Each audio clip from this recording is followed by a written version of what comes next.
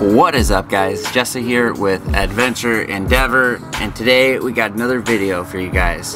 Today this video is going to be a truck project. Well today and tomorrow I am getting some help from my buddy who has a local fab shop and today we are going to be working on the front axle of our 2016 Ram 2500.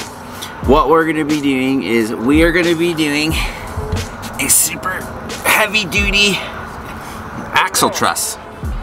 So we're gonna take this long tube and we're gonna take these brackets here, all these different brackets, and we're gonna be basically welding this tube under our differential into both outer ends of our front axle.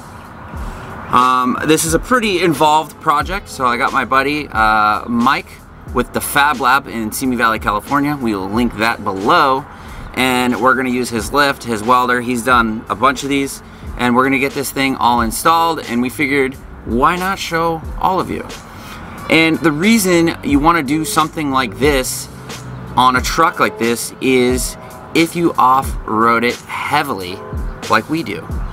You know in a lot of our previous videos we like to go fast in whoop sections out in the desert. We like to rock crawl. We really use this truck for everything and this is something I've been putting off for a while. Basically, you want to install this axle truss, truss made by Thuren Fabrication. We'll link it below as well. You want to install this to prevent your front axle tube from bending. You don't want it to be a smiley face. So believe it or not, this front axle with how heavy this Cummins turbo diesel is, when you're going through a whoop section, your axle is doing this. It's teetering, it's going up and down. And what happens over time is that heavy weight pushing down on the springs, onto the axle, basically in the center, all, all of that is pushed into the center. And what happens is it slowly over time, it starts to smile your front axle. It's a pretty common oh. thing in the pre-runner world, in the rock crawling world. Not so much the RV world, but you guys might find this entertaining. Um, we're gonna show you step by step how to do this and we're excited because it's something that the truck has needed for a long time. All right guys, so we're here today, Saturday morning at the Fab Lab in Simi Valley, California. My buddy Mike right here is gonna help us uh, install the truss. So first thing you wanna do is disconnect your batteries. That way it protects your batteries, it protects the charging system, it protects your computers in your vehicle when you're welding. So that's step number one. And then he has a lift, so we're gonna put it up on the lift and we put it neutral so it makes it a little easier to, to maneuver it um, on the lift. Yeah, then we go from there.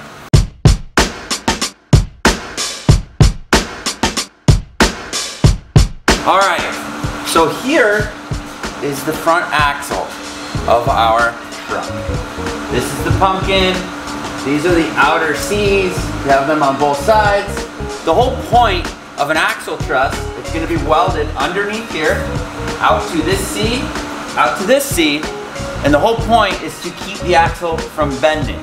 It also strengthens up your C's, which are cast, I believe. Is that true, Mike? That's true. These are cast, so when you weld it all together, it just makes it much stronger overall.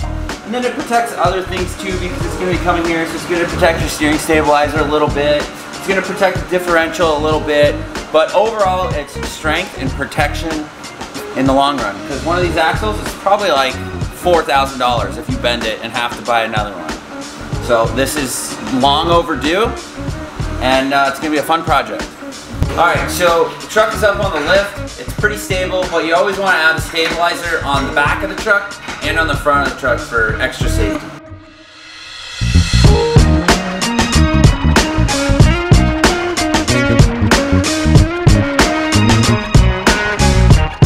So what we're doing is we're marking with this pen all the areas that we have to clean up and bring down to bare metal where there's going to be little brackets to attach the rod, the, uh, the truss, so we got some here, obviously the ends here, and there's little gussets to go in all over the whole axle.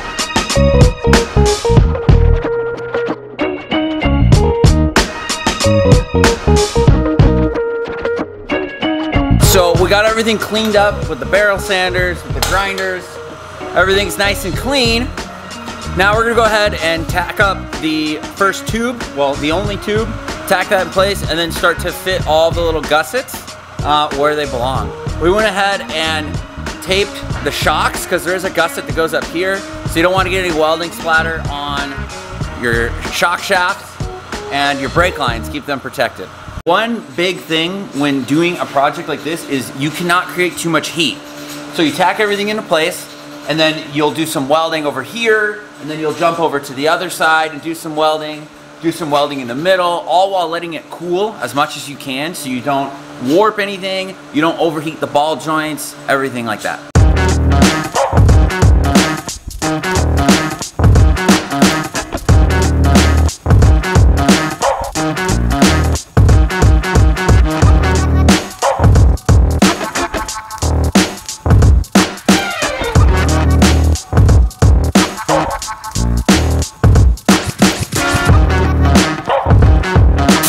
It is actually an extreme amount of welding, which is good, but you have to bounce around to make sure you don't overheat anything. And at the same time, if you've seen in the time lapse or right here, what I've been doing is I have been wetting rags, keeping them nice and wet around the ball joints so we don't overheat the ball joints and have to replace the ball joints because that would be a bummer. So it's all about just controlling the temperature, doing it slowly, and just getting it all welded. And this is gonna be a huge improvement in the life of the front axle, and it's just gonna give us peace of mind.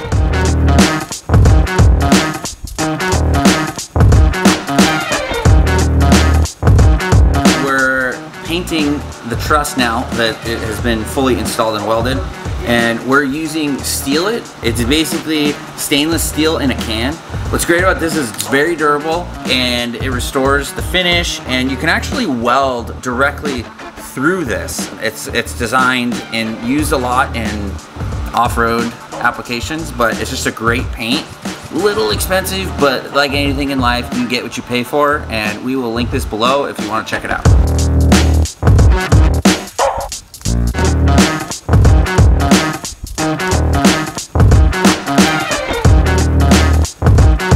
We got this project all finished up. Obviously you can see the truss extends all the way from the driver's side, outer C. It comes all the way across underneath the diff where it is welded on the back side. We got gussets all over the place. And then where it attaches here. So overall, this is just gonna guarantee that our front axle is not gonna bend. And then also on the upper side, there is a little support to the coil bucket. So it's nice and strong. Overall, it was a pretty quick project. Took about three hours.